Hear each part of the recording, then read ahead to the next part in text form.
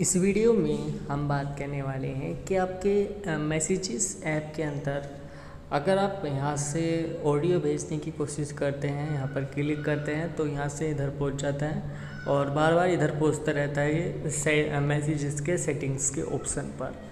तो बेसिकली इसको कैसे हम फिक्स कर सकते हैं, ये मैं आपको बताने वाला हूँ। तो वीडियो को आप पूरा ज़रूर देखिएगा। तो इसको सॉल्व करने के लिए आपको क्या करना पड़ेगा?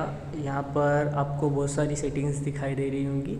तो डायरेक्टली अगर ये इस पर पहुँच जाता है तो ऐसे मत जाइएगा, क्योंकि इसमें प्रॉब्लम आती है। अगर ऐसा जाना चाहें तो जा सकते हैं। पर यहाँ पर वीडियो को देख लीजिए पहले, पूरा पहले, क्योंकि हर किसी के फ़ोन में ऐसे डायरेक्ट नहीं जा सकते। तो कुछ अलग सेटिंग्स भी होती है। तो उसको कैसे आप कर सकते हैं वो मैं आपको बताऊँगा। तो यहाँ से सबसे पहले मिनिमाइज आ जाइए और अपने जो है फ़ोन की सेटिंग्स में जाइए। ठीक है फ़ोन की सेटिंग्स में जाने के बाद यहाँ पर नीचे जाइए। नीचे जब आप जाएँगे तो यहाँ पर आपको दिखाई देगी ऐप तो ऐप्स पर आपको जाना है। उसके बाद यहाँ पर आपको मैनेज ऐप्स में जाना है। जब आप मैनेज ऐप्स में पहुँच जाएँगे तो यहाँ पर आपको मैसेजेस को फाइंड कर लेना है। ठीक है तो मैसेजेस को हम फाइंड कर लेते हैं। यहीं कहीं पर हमें मैसेजेस मिल जाएँगे। तो यहीं कहीं पर हमारा मैसेजेस हो गए, ये रहे, ठीक है? तो इसे आपको खोल लेना है।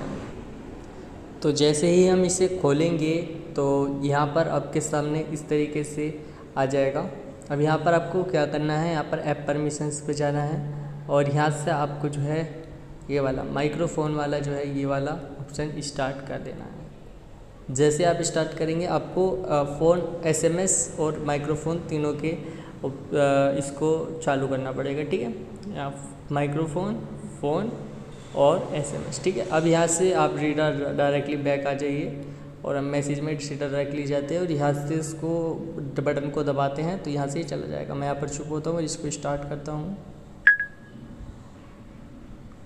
तो आप देख सकते हैं, रिकॉर्ड होकर ये चली गई है। जाए या ना जाए, उससे अलग बात है, लेकिन यहाँ से ये रिकॉर्ड होकर चली गई है, ठीक है?